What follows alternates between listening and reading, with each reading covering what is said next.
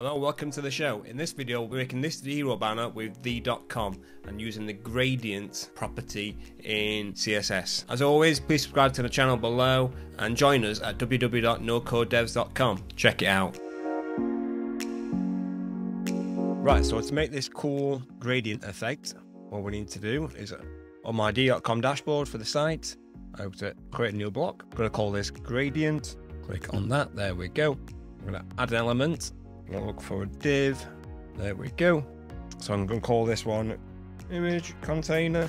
There we go. So this is gonna be, we're gonna go into, right, so what we want for this is gonna be 60% or 70% just for the height, 100% for width. There we go, that's it. So here we want to go to background image. There we go. Put in my image. That's it. Here, but no repeat. Put that already and contain. No, we want not contain, we want cover. There we go. Perfect. Just what we wanted. Then inside this div, we want to create another div. And this is going to be the gradient. This is going to be the color gradient. Right, so in here, we go back. So this we want this 100% of the above. Nope, so to put this, make sure that's in there. There we go. That's 100% of this and 100% width. Perfect. Now for gradients, there's several different ways you can do it. What I found, or I found, is this is really, really helpful. So this is the kind of gradient we want. And what you can do for gradients, if you just want this linear one here. Now for, for linear, for the gradients, you don't need to put background color. What you need to go into, for some reason, you need background image. That is where the gradient goes. And for the linear one, so you can go, oh, Go wrong thing. Linear dash gradient. And as it says there, you can have a color as well. Copy that. There we go. So that's the linear gradient. Now, obviously, at, the minute, it's not see-through, so you would change the opacity as well. So we change the opacity and put it onto. It gives you options here. One's full, obviously. Set it five. That too much? Maybe that's too much. 0.5. That's a lot better. What you can also do as well is in here, you don't necessarily have to have these colors, so you don't have to define colors. You can have type color as well with a hashtag, and you can have RGB colors as well. So you can have all different types of colors.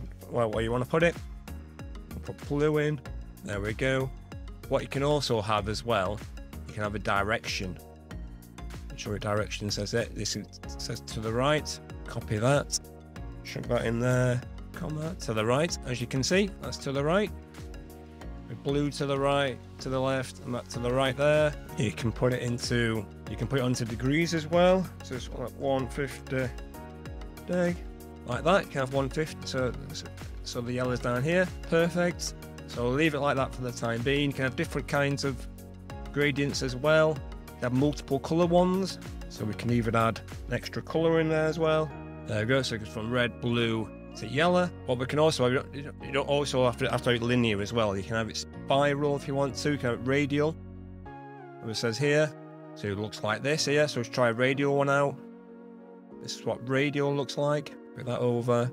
So get rid of the linear. There we go. So that's radial. So obviously with radial you don't have the degrees. So it's with the red in the middle, blue, and the yellow on the outside. You can have conical as well and that's conic. Right, so that's all the different ones you can have. I see quite a varied mix. You can have a play around with, definitely. But really, really cool, really useful to know. And makes a really cool effect. Try linear again. Leave it on linear. Makes a really cool effect. Well, I hope this is uh, found this useful, this video. And check us out at No Code Devs. And keep on building.